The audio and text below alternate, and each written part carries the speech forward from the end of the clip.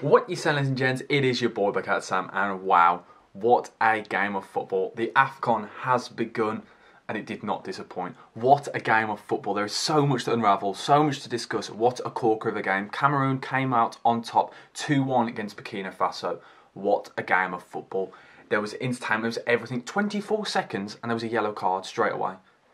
There was so much to unravel, so much to discuss. There was three yellow cards and three goals two penalties, VAR controversy. There was everything you'd want from a football game. So straight away, if you're new to the channel, smash that like button and subscribe. It does really help. But yes, what a game of football. Aboubakar, Vincent Aboubakar clutched, came through and scored those two penalties. And I love the it's so confident and so arrogant. I love the way when people take penalties like this. It's Jorginho style, when uh, or even Ivan Toney. The confidence he had in that moment as the host nation going down 1 0 so early on against Burkina Faso. Burkina Faso, not the favourites. I love the way he took those penalties away. But I want to discuss straight away that first goal for Burkina Faso. Kind of came from completely against the run of play, something no one was expecting. And I want to discuss Onana it was awful goalkeeping from him straight away. So the ball comes out to uh, Bertrand Traore on that right hand side, and we knew straight away Bertrand Traore is the danger man in that squad. He is the main, the biggest attacking force in that strike, in that in that attacking sense. And he's got a strong left foot. That's all he's got. And I don't understand why. The reason why I think they struggled at the start, Burkina Faso, is because he kept coming so deep, wanting the ball all the time. And you saw the one moment where he was right up the other end of the pitch. They score. He whips in that ball. What a delivery!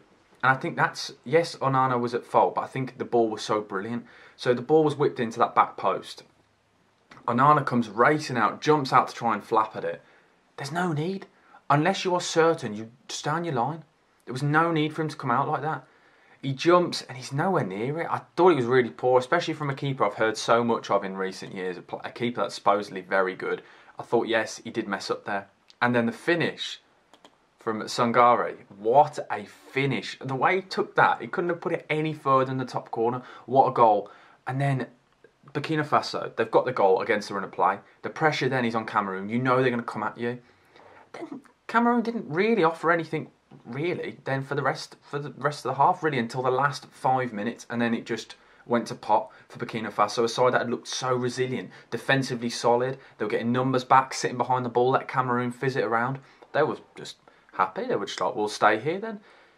And then Bertrand Traore in his own box, a stupid challenge on Anguissa, a really, really, really stupid challenge. I don't know how the referee didn't see it. He's about 10 yards away. It's definitely a penalty. That was completely the right decision. And as I said, Aboubakar, brilliant finish. And then the next penalty from Dayo. What are you doing? I don't understand what he's trying to do. It's so late. It's so reckless. In your own box.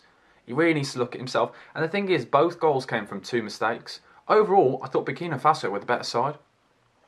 Yes, Cameroon a lot of the ball, but Burkina Faso attacked with purpose. There was an end product. That's the one thing I'd be worried. Cameroon have got a good side, but there was no end product. Every time, yeah, they kept the ball. They had 60% possession throughout the game.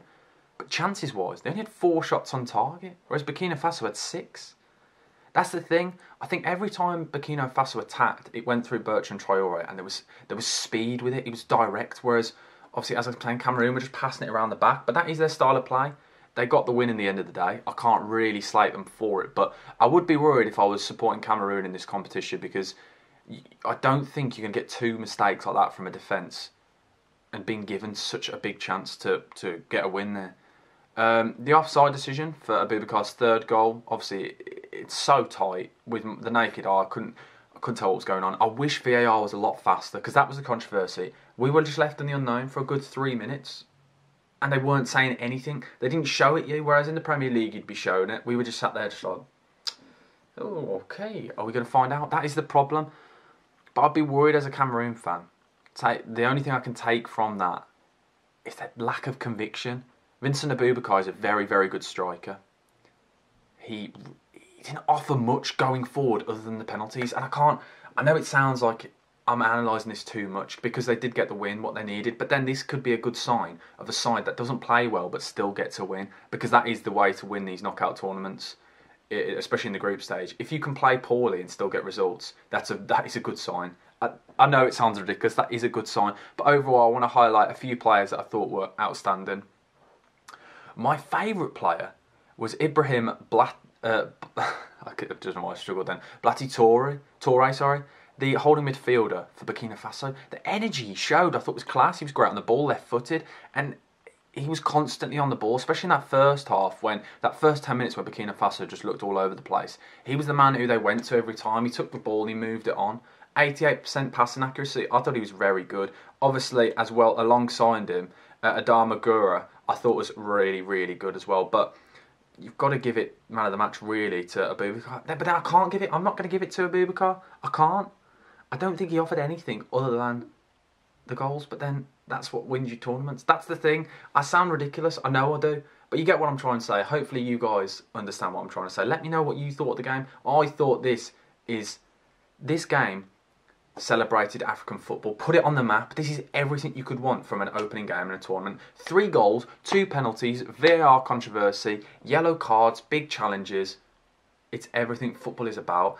And as I said, this tournament is new to me. I've never watched this before, and I'm all over this. I absolutely loved it, and I cannot wait to give you more content from the African Cup of Nations. Hopefully, you enjoyed it, guys. Hopefully, you enjoyed my analysis. Smash that like button and subscribe if you haven't. Anyway, for lots more, and I mean lots more African Cup of Nations content. But yes, Bucket Sam over and out. Thank you for watching, guys. Goodbye.